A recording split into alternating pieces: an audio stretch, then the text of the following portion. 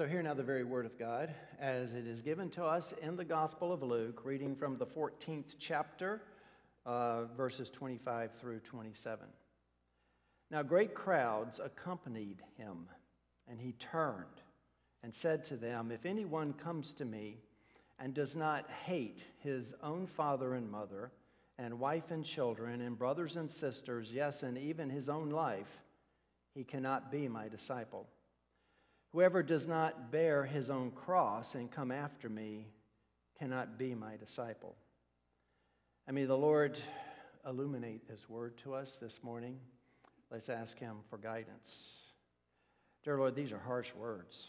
Eh, these are not the kinds of words that are normally spoken in churches today, and yet these are the words that you spoke and so we need to understand what you meant. We need to put it in its proper perspective. So I ask your spirit to illuminate every heart tonight or today, that you would reveal to us what they mean and how this relates to each and every one of us.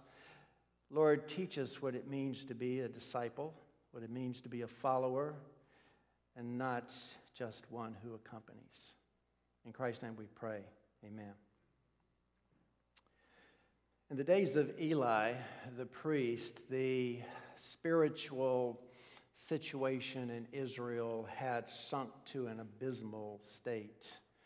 You read this at the end of Judges. In those days, there was no king in Israel. Everyone did what was right in his own eyes. They had become apostate. They I mean, the ark was still there, the tent of meeting was in Shiloh, but apparently they weren't keeping the feast days, they weren't making sacrifices. They, they really were not worshiping God. And so when war came with the Philistines, the first battle was telling. The, the Lord did not protect his people. They, they lost it immediately to the Philistines. And they began to scratch their head and say, Why on earth do you think we lost? Why didn't God protect his people? And then someone had the bright idea it's because we don't have that good luck charm that we used to take into battle all those years ago. And so we read this in 1 Samuel Let us bring the ark of the covenant of the Lord here from Shiloh that, and here's the operative phrase, it may come among us and save us from the power of our enemies, that it might accompany us on the campaign that we have. Well, when they did go get the ark and they brought it into the camp, they were so excited they yelled to where the virtually the earth shook. And so they went to battle thinking that they were going to win the day, but, well, this is what we read. So the Philistines fought, and Israel was defeated, and they fled, every man to his home. And there was a very great slaughter, for 30,000 foot soldiers of Israel fell. And the ark of the God was captured, and the two sons of Eli, Hophni and Phinehas, died. Now, the moral of that story, and the reason that I'm bringing it out, is because God doesn't just want people to accompany Him. He's not just looking for those who are going to come along beside or those who kind of want Him in their midst for their own purposes. God says, I will be your God and you will be my people. There's a cost to what it means to be the people of God. And they didn't understand it in Eli's day, and they did not understand it in Jesus' day. This is a big problem for Jesus, is what we're going to look at today. A whole crowd is following him, but they're not following after him, they're just accompanying him. Great example of this is the so called triumphal entry. I mean, there was a huge crowd that day. Mark puts it this way And those who went before and those who were followed were shouting, Hosanna! Blessed is he who comes into the name of the Lord. They were all around Jesus. They were moving in one fluid unit. And then before the week was out, when things did not go right, well, all those accompaniers, by the way, that's a new word, I just made it up. Accompaniers there, they all fall away. And, and that's not what Jesus was looking for, and that's exactly what we're going to look at this morning. Brothers and sisters, when I look around me and I see evangelical America and the churches that meet for the most part today, I fear that they're full of accompaniers. I feel that not only are they full of accompaniers, people who just simply want to go along with Jesus, accompany him, but they're being taught that that is all that was required. And Jesus, in our text, he says, no, it's not. There are terms to your discipleship. If you're invited to the kingdom, if you're invited to the, to the great banquet, there are terms. And we're going to see what some of those terms are this morning, some next week, and perhaps even the week after that. Now, you may look at this passage and you may think to yourself, well, Luke, uh, those of you who have been here, that Luke has kind of made a sharp turn. Here he's been talking about the Pharisees and false religion and their false sense of, uh, uh, of salvation and their hypocrisy, and now all of a sudden he's talking about the cost of discipleship. But if we were to carefully, and I'm not going to be able to this morning, but if we were to carefully follow Luke's thought, we would realize no, he is right on track with what he has been revealing.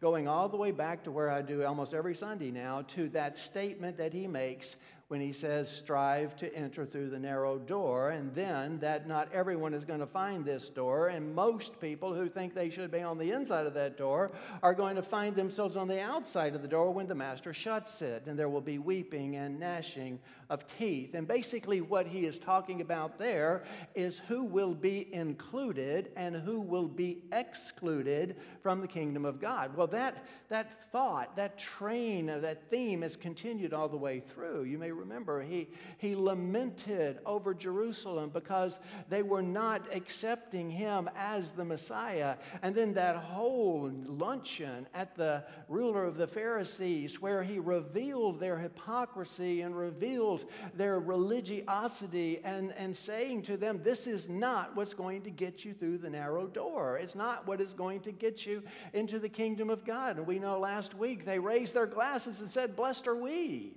because we're the ones who are going to be at that great banquet. And that's when Jesus told the parable that we looked at last week, the parable of the great banquet.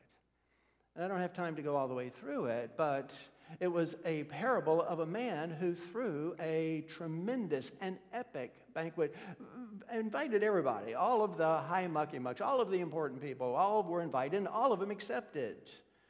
And then when it came time for the actual banquet, they all made excuses. And of course, Jesus is talking about the Jews as God's favored people, as the ones that he has uh, selected, and then how they simply refused the second invitation, which was Jesus. But the master of the house was not going to let all of his food go to waste, so he sent his servants out into the highways and byways, the streets and the lanes and the hedges, and says, Bring all those undesirables in. Bring the untouchables. Bring the poor and the cripple and the lame and the blind. And not just from Israel, but go outside into the Samaritans and, and, and to the Gentiles and bring them into my house.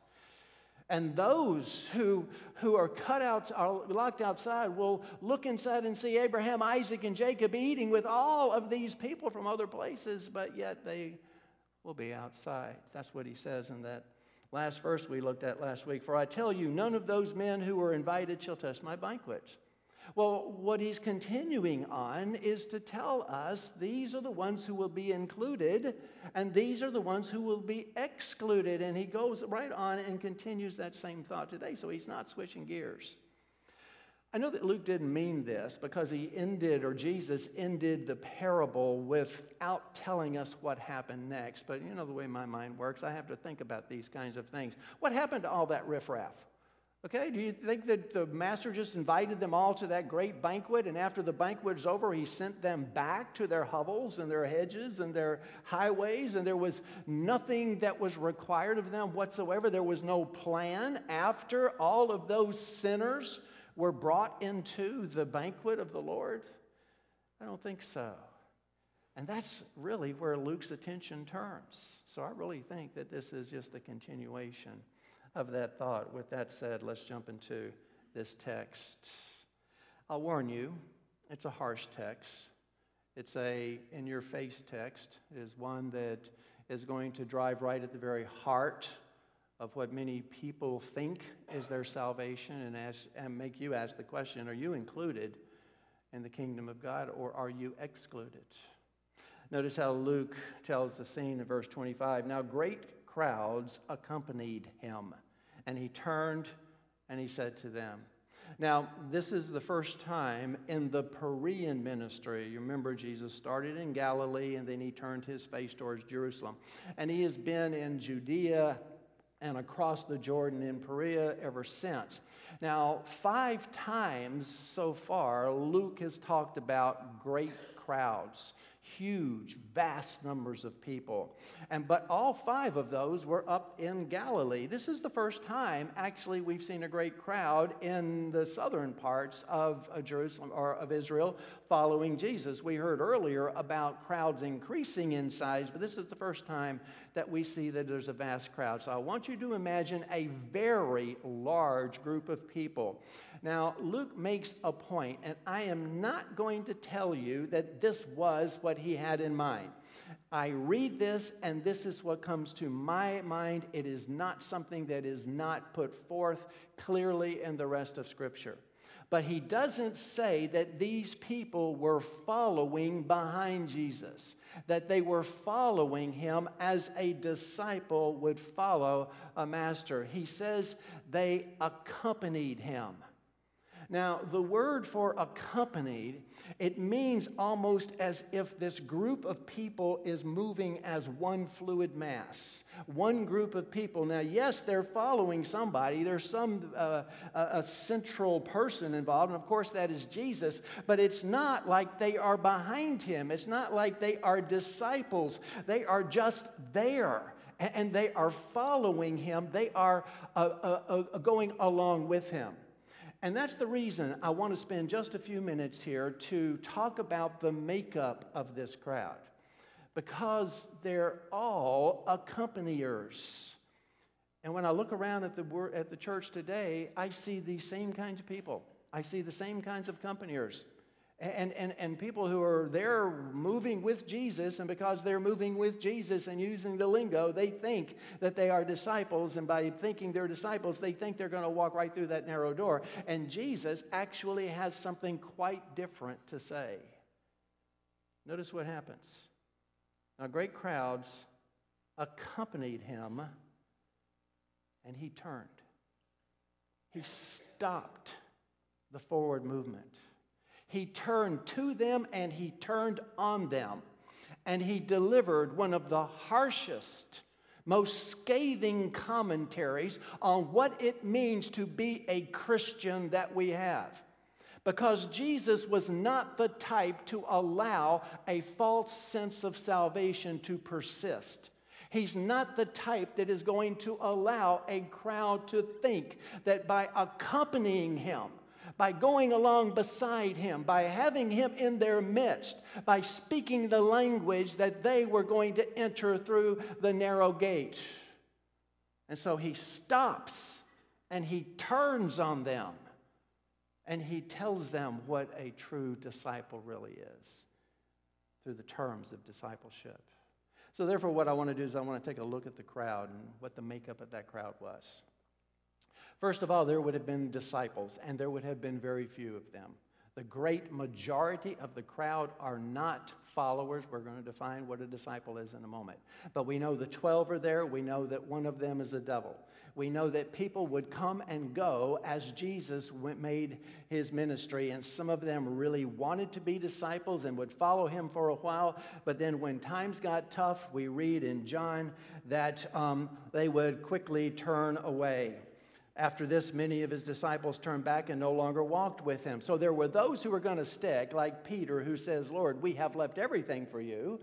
And he meant it and he stayed a disciple. And then there are other disciples who came and went. But for the most part, a disciple is interested in following Jesus. Whether they end up doing it or not was a different story.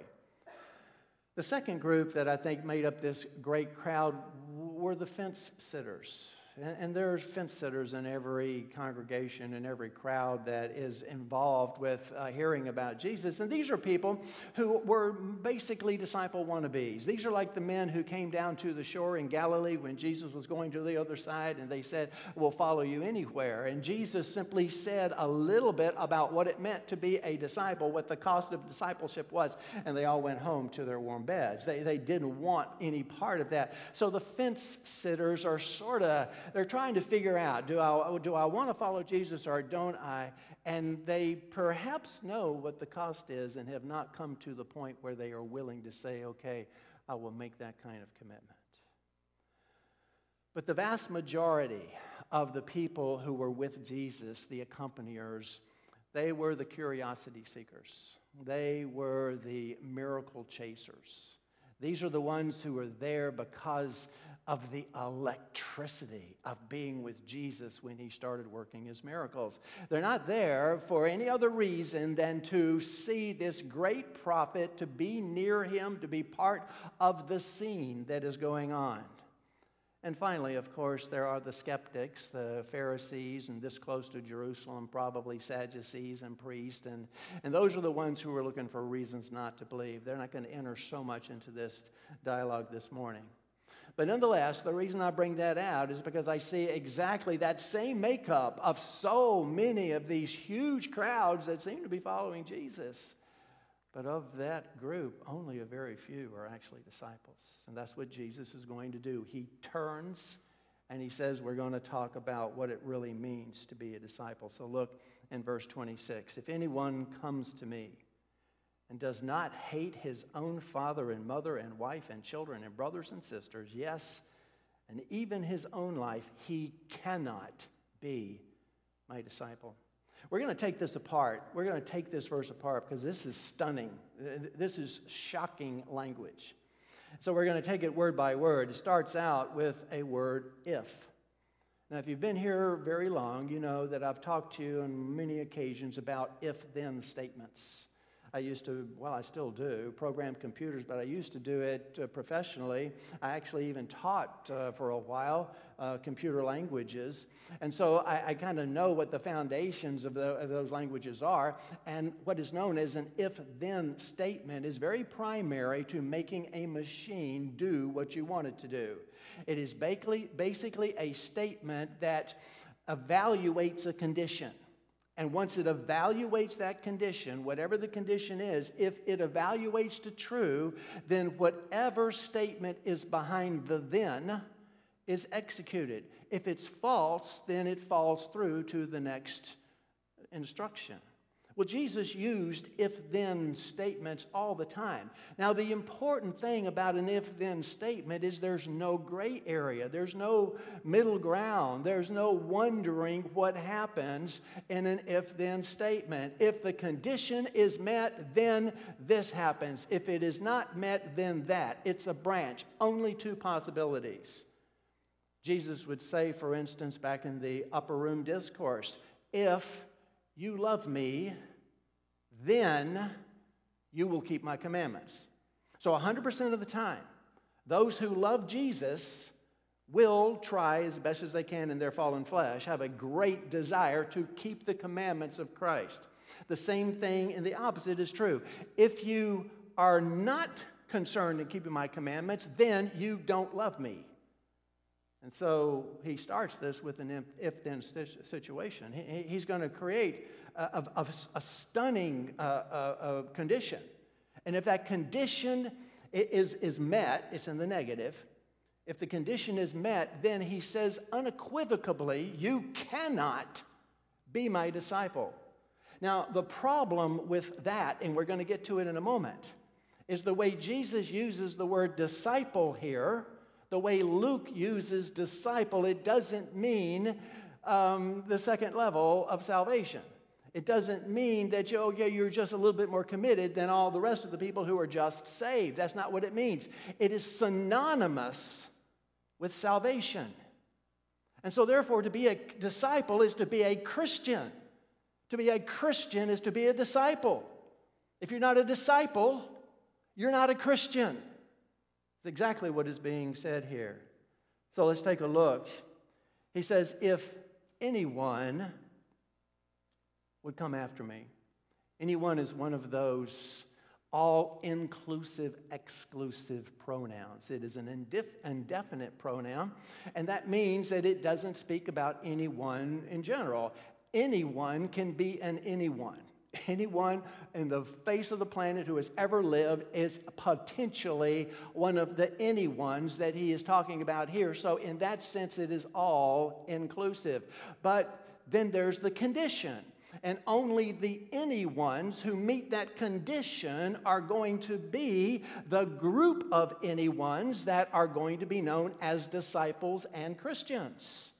And so, therefore, it is extremely exclusive in the way that it, it, it, implements. Now, here's the, here's the thing Luke is telling us, Jesus, through the, through the words of Jesus, who will be included in the kingdom of God and who will be excluded from the kingdom of God. That's why this is so important. And, and, and, each one of us is, should be asking ourselves the question as we go through it Am I included or am I excluded based on the terms of discipleship that he is putting forward here? If anyone comes to me, here, right here, brothers and sisters, is the source of a, an egregious error that leads so many people astray when they look at this passage. They think that when Jesus says, If anyone comes to me, it would be like him speaking to his disciples who already are his already have left everything. It would be like speaking to a room of born again Christians and saying, If you will now come to me for level two, which is discipleship. And they think that, that actually that Jesus is saying that this is not a statement of salvation because the word disciple is used. But once again, Luke uses the word interchangeably. Go into the book of Acts, which Luke wrote, 11th chapter. He says this In Antioch, the disciples were first called Christians. To be a disciple is to be a Christian. To be a Christian is to be a disciple. And so, therefore, when Jesus creates these groups and he says, If you come to me, he's not talking about discipleship as sanctification, he's talking about salvation. In other words, if you come to me and you are saved, if you come to me by repenting of your sins and recognizing that your sins will condemn you, if you come to me knowing that your righteousness will never stand before God, if you come to me recognizing that you need a Savior and trusting and believing in me with your whole heart as your Savior, if you say that, then this condition applies to you. Because the condition is what is going to determine whether or not your profession of faith is true, is a real f- profession. That's why these terms of discipleship are so important, because they're also terms of Christianity in the way that he says this. So, the problem that exists with that first way that I showed you, if Jesus is indeed saying to the crowd, first of all, remember the crowd.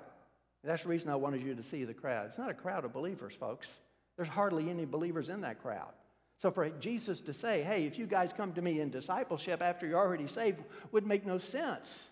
He's talking to a bunch of people who are simply accompanying him, not believing in him, not following him as disciples. So he is saying, if you would be saved, then this condition applies to you. This condition you see, here's the problem that exists in, in, in, the, in the modern church is it creates a buffer. It, it creates a carnal zone. It creates the ability for you to be saved for you to say, Oh, I accept Jesus as my Savior, and then still continue to be just as much of a sewer rat as you ever were. Never having any kind of fruit, never seeing a complete change in your heart, never coming to Jesus and leaving the old man, the old woman behind, because you're waiting for the second wave. Okay, I'm saved, I'm good, I have a place in the kingdom uh, banquet, but I'm going to wait before I do anything until I mature a little bit. Jesus is saying that's if that's you, then you haven't made the first step because all Christians are disciples. So he says, if anyone would come to me, and then he gives this stunning, and, and I don't know how to put this other than this is just a stunning condition, does not hate his own father and mother and wife and children and brothers and sisters, yes, and even his own life. That's the condition. That's the term of discipleship that Jesus lists here. So let's make sure we understand what it says. Now, right off the bat, you should have questions. Whoa, is that a conflict in Scripture? Is Jesus telling us to, to, to hate people we are obliged to love? Remember the Ten Commandments honor your father and your mother, the first commandment with a, an actual promise. Remember what Paul says in, in, Ephesians husbands, love your wives as Christ loves the church. Throughout the, the, the, the, the Old and New Testament, we are told to love our children, to bring them up in the fear and admonition of the Lord, to, to teach them well in the ways of the Lord. And our brothers and our sisters, Jesus told us to even love our enemies and not just our brothers and sisters. So, is this a conflict in what Scripture says? Well, if we use the word hate the way we use it today, yes, it is. It would be a conflict.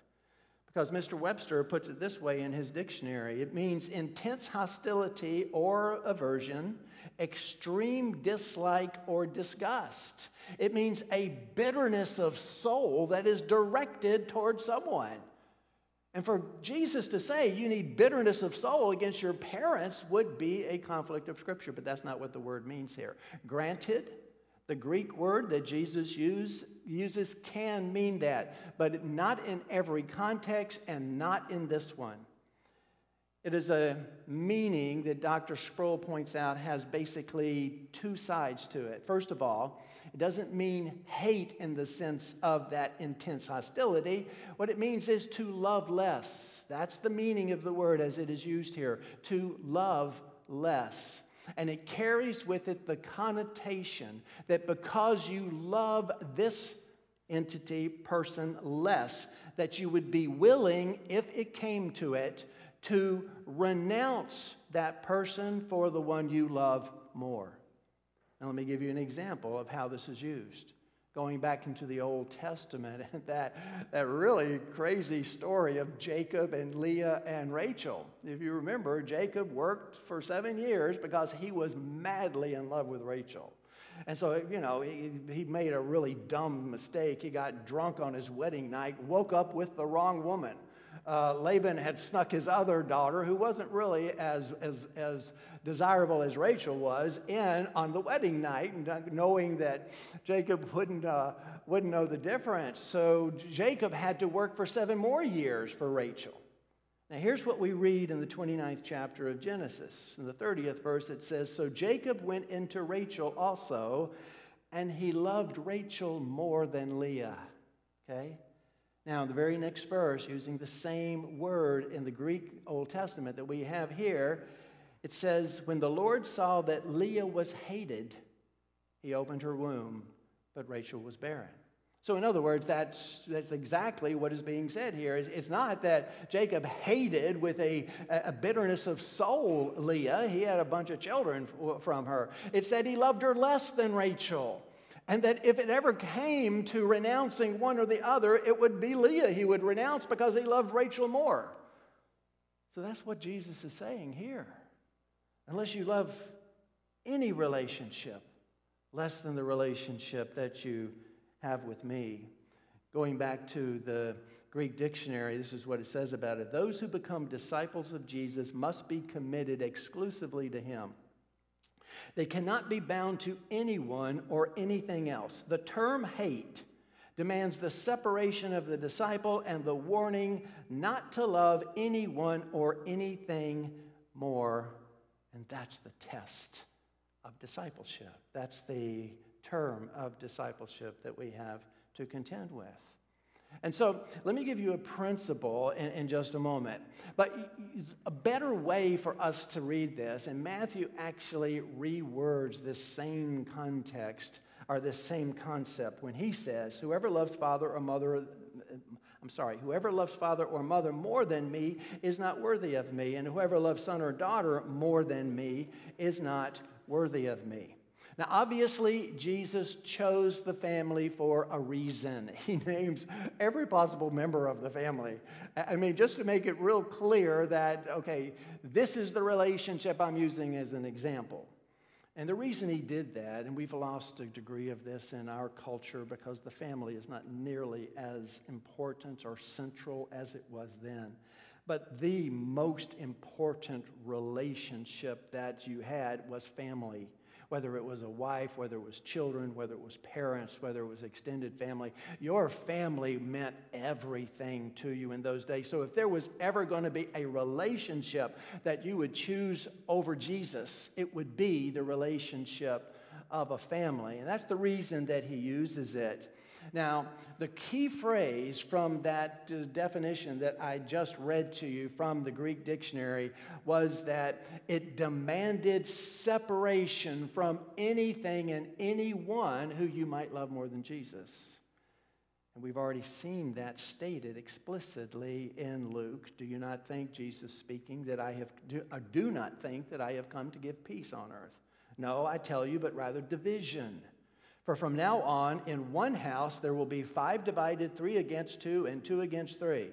They will be divided father against son and son against father, mother against daughter and daughter against mother, mother in law against daughter in law, and daughter in law against mother in law. In other words, any possible relationship within the family unit that you have that is the most re- uh, important relationship in your life, unless you love that relationship less, and are willing to renounce it, you cannot be my disciple. You cannot be a Christian. Let me give you a principle. The ultimate statement and therefore the term of discipleship is to love Christ more than you love anyone else. And if necessary, be willing to renounce your most important and intimate relationships in order to live for Christ. Let me repeat that.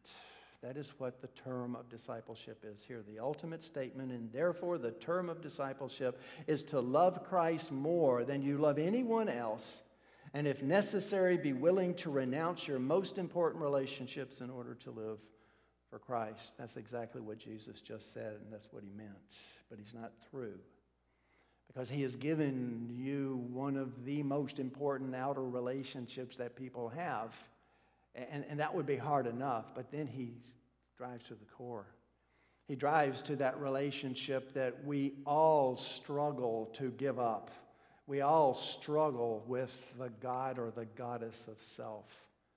And I can go down a rabbit trail here and we can talk about all the problems in discipleship and Christianity that self has.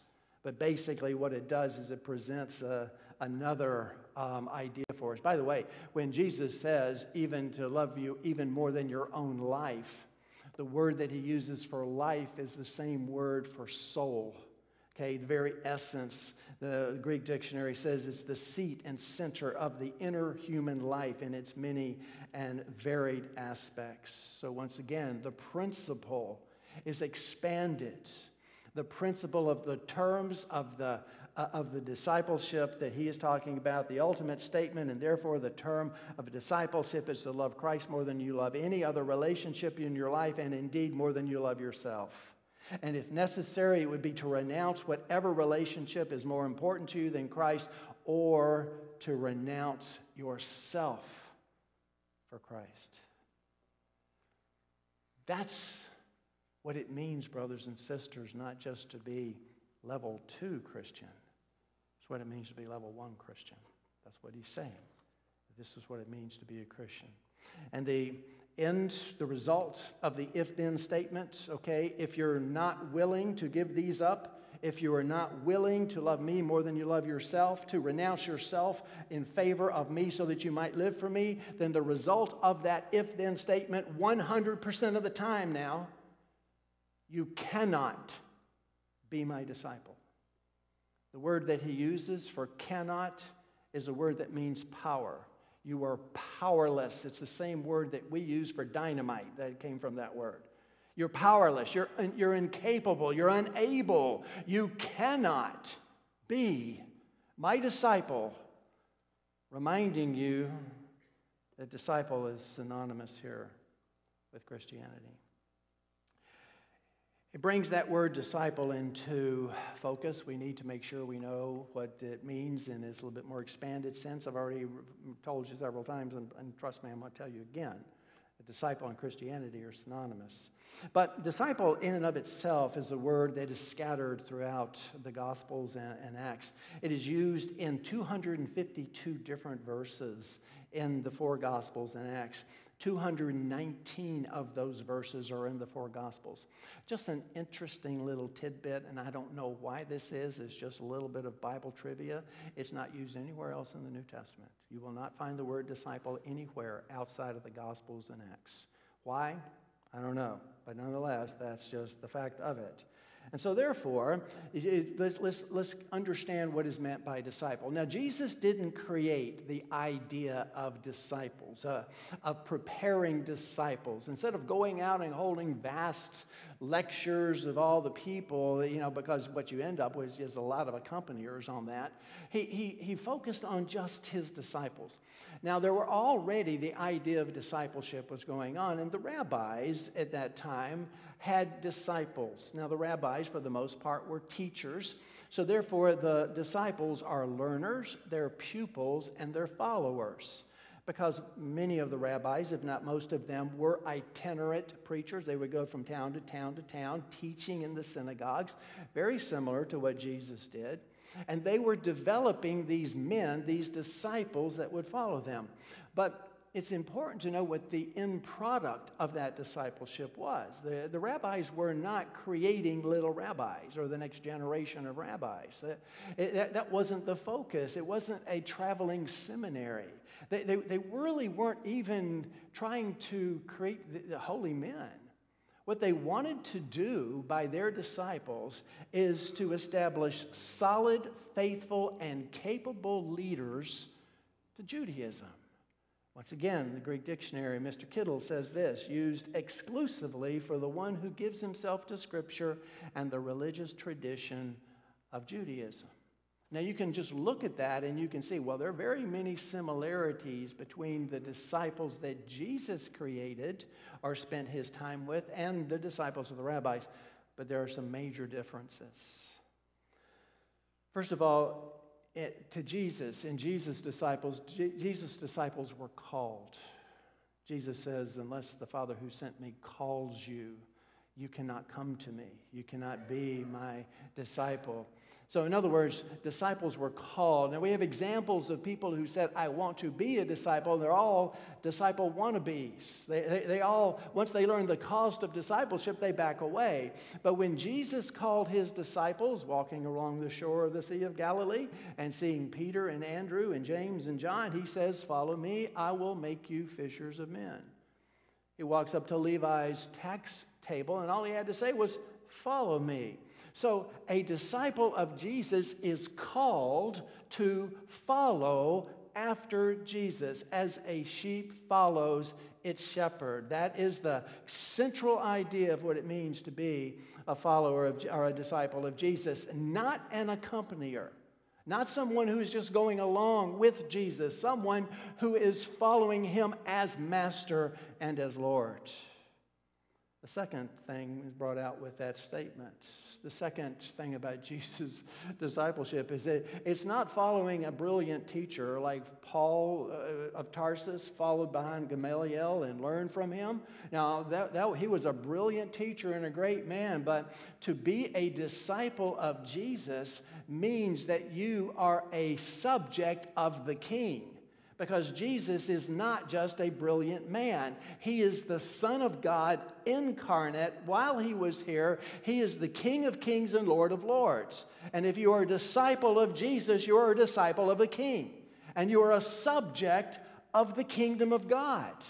That is huge. That makes everything in a completely different standard because we are disciples of God Himself as He was manifest in the person of Jesus Christ. Third thing about Jesus' disciples, considerably different than the disciples of the rabbis, is that disciples are trained to be world changers.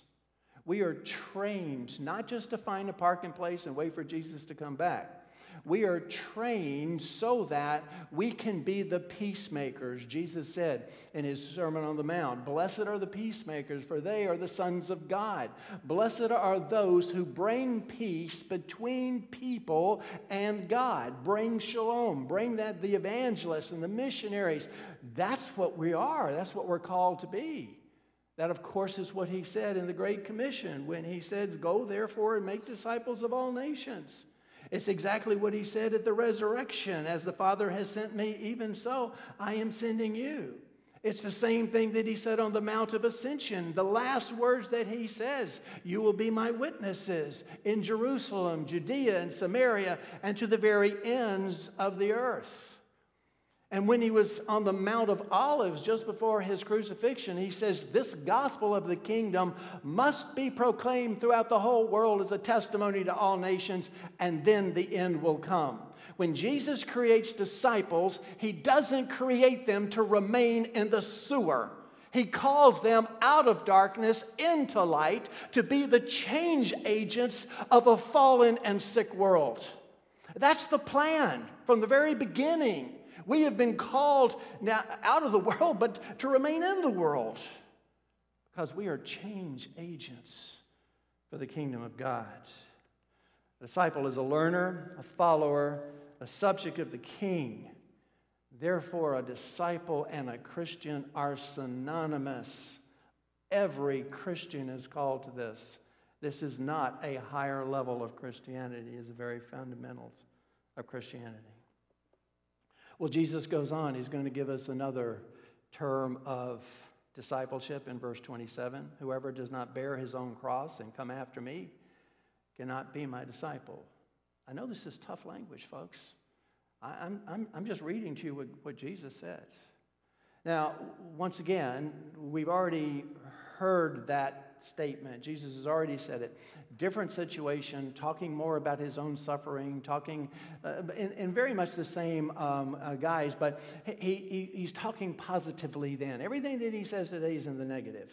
But he's talking positively back in Luke 9 when he said, If anyone would come after me, let him deny himself, take up his cross daily, and follow after me. So let's take this verse apart like we did the previous one. Whoever, another one of those impersonal pronouns, indefinite pronouns. Anyone can be part of the whoever, but the whoever associated with this condition is going to end up as a very exclusive group. So, once again, we start with an all inclusiveness, we end up with an inclusive uh, group. I'm sorry, an exclusive group. The whoever's, if you will, who are willing to pick up their cross and to follow after Jesus. Whoever will not, again, in the negative, whoever does not bear his cross. That word means to carry something of great weight, to carry something very, very heavy. And of course, we know not only in a physical sense is a cross heavy, but it is very heavy as well in a spiritual sense. But I want you to notice something. Now, be very careful about this. Jesus does not say, Whoever will not hang on a cross and suffer and die for me. That's not what he says. He says, Whoever does not bear his cross. So he's not talking about the actual scene of being nailed to the cross and dying there. He's talking about carrying that cross through town. And that's the image that we're supposed to see. I'll come back to that in a moment. We all know what a cross is. We know that it was an implement of unspeakable torture, a way to execute people. But once again, the image that we have now is not on the cross, but bearing the cross. That's the image that Jesus wants to, to see. Whoever does not bear his cross, that word bear um, uh, is, is also in the present tense. So it picks up that idea of bearing your cross daily. This is an ongoing situation. Who is not in the process of bearing this cross and come after me? Now, it's exactly the same thing, same word for come, the exactly the same idea, but he adds that word after to it. The word after is a marker of position.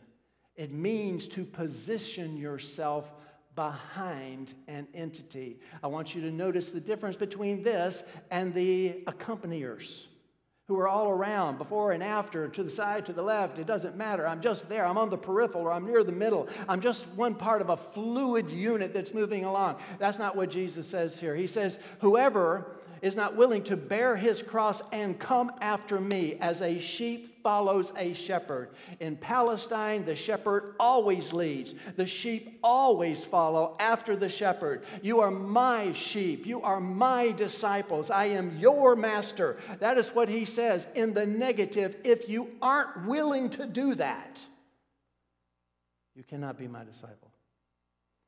If you're not willing to do that, you cannot be a Christian. Because discipling Christians are interchangeable. Um, let me just step back from that and, and, and sort of give you the image. Many of you know this. We've been over it many times. Some of you don't. I, I told you that what Jesus is talking about is bearing your cross. And again, some people like to say that, oh, bearing my cross means that I'm suffering. Oh, that's my cross to bear. Uh, that's not what Jesus is talking about here when he talks about bearing your cross. If you were in Jerusalem and you were to see a contingent of soldiers pass by and a man in the midst of them bearing his cross, it would not matter who that man was before because whatever he was before is gone. It's over. He's a corpse. He's a dead man walking. So it doesn't matter if he was rich or a pauper. It doesn't matter if he was a king or a knave. It doesn't matter if he was a righteous man or the worst criminal in the city.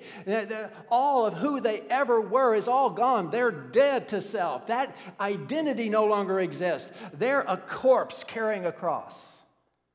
That's what Jesus means. You're not willing to lose your identity if you're not willing to die to self and live for me, if you're not willing to be resurrected to the newness of life, if you're not willing, as Paul says, you're, if we are in Christ, we are new creations in Christ. If that is not you, then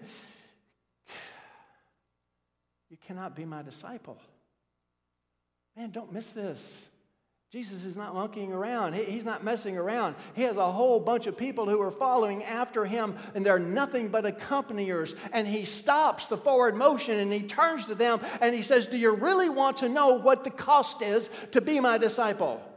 Do you know, want to know what the entrance uh, uh, uh, fee is to get into the kingdom of God. No, no money, no merit, no ability. It is trust and belief and repentance for your sins. And if you are not following after me, you will never, ever enter the kingdom of God. That's the bottom line of what he's saying. And he cares enough about you not to stroke your ego, not to make you feel comfortable not to say it's okay, you know, at least you're following after me. I mean, at least you're accompanying me. That's really good. You know, that's a good start. Well, I'm not saying that you don't want to accompany Jesus because he pulls people out of accompanying him all the time. What I'm saying it's not enough. You're not going to make it through the narrow door that way. Jesus was not interested in accompaniers, folks. He's interested in disciples. And the reason that he is interested in disciples is where he's leading his disciples. Yes, yes, sometimes we go through hard times. Every disciple of Jesus Christ knows that. He, he didn't promise us the health and wealth that so many people out there are promising us. He didn't promise us that everything would be fine. So, yes, sometimes He leads us through valleys, sometimes He leads us through hard things. And to be a disciple is really hard. But he, he, he, Jesus refused to allow people to fool themselves. He's at the Pharisee's house, and it's the guy's his host, and he calls him out for his guest list because he's only inviting people who could pay him back. Jesus would never allow error to pass without confronting it. And that is exactly what he's doing here. He stops and he turns to them and he says, Unless you meet these terms of discipleship, you cannot be a Christian. I want you to know that now. I want you to realize it now because I don't want you to get to the gate and be turned away and be a teeth gnasher for all of eternity. I'd rather give you a little bit of discomfort now than to see you spend an eternity in hell. That's how Jesus did. And, brothers and sisters, as I said, I, I, I am actually frightened when I look at the state of the evangelical church and the country that we live in, the, the, the, the part of it that I can see from an international situation. I see all of those elements that we talked about in the crowd. I see vast crowds. I see churches that are huge, and gigantic numbers of people are flocking to those churches, and they don't have the first clue about the cost of discipleship. It's easy believism, it's cheap grace, it's a, an easy way. And, and, and the pastors who are there, and I put all the responsibility on the pastors. The pastors who are there make it so easy. You're never going to hear this in an evangelistic outreach as far as most churches are concerned. You're not going to see this because that would drive people away.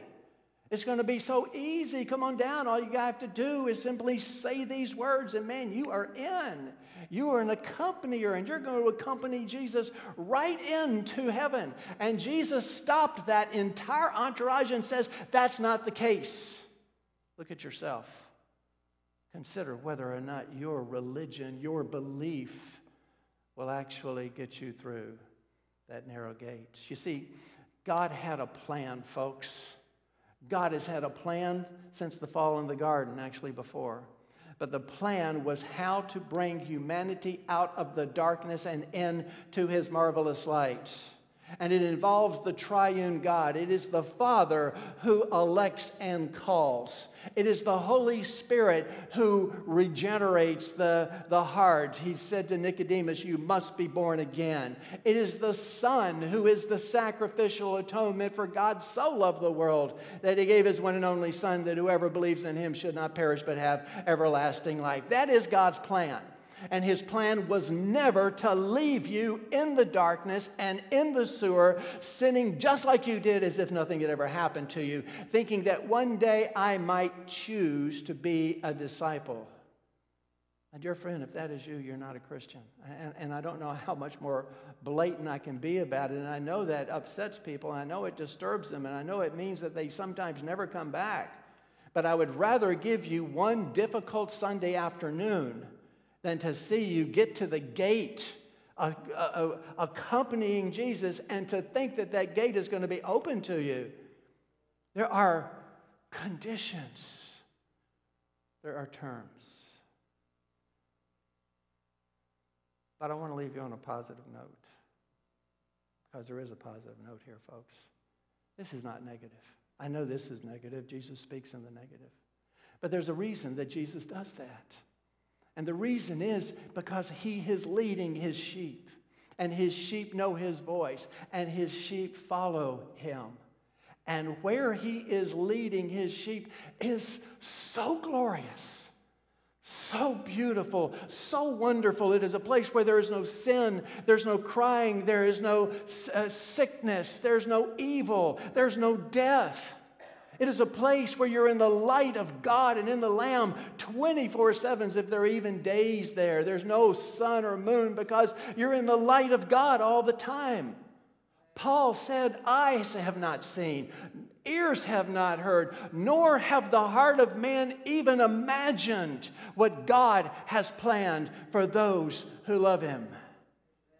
And Jesus doesn't want you to get to the gate of that and have never said a word and said, Oh, everything is just fine. Come on and, uh, you know, uh, accompany me right up to the gate. And just like poor old ignorant in the Pilgrim's Progress, get thrown into the, in, into the darkness where there is weeping of lashing, gnashing of teeth.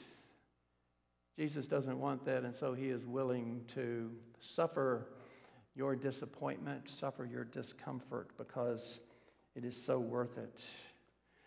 Every or any degree of discomfort is worth understanding and accepting the terms of discipleship because, my dear friends, only disciples, only disciples make it through the narrow door. Let's pray. Our dear Lord, I know, I know, I know, I know. Harsh words. But they're your words, they're not mine. And you have such a heart and a love for those people who are just stumbling along beside you. You had compassion on the crowds because they were lost like sheep without a shepherd. And here you are presenting yourself as our shepherd, asking us to follow you. But there's some terms, there's a cost. Easy believism is not one of them. Health, wealth, and prosperity is not one of them. Cost is, is total loyalty, total belief, total giving ourselves heart and soul, the very essence of who we are to you, following you as not only our Savior, but as our Lord. Lord, press upon us, press upon any that you know. You know their hearts. You know if they're just accompaniers or if they're not. So hard for us to see because the language is all the same. I pray if there are those here, those listening, who are just along for the ride, that you will convict them in their hearts that it's disciples who make it through the gate. In Christ's name we pray. Amen.